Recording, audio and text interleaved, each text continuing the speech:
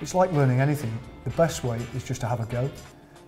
Learn through experience. So what I would do if, if I was really interested in getting into coaching, I would speak to an experienced coach down at the club or maybe the club coaching coordinator and say, let me have a go. What do I do to get qualified?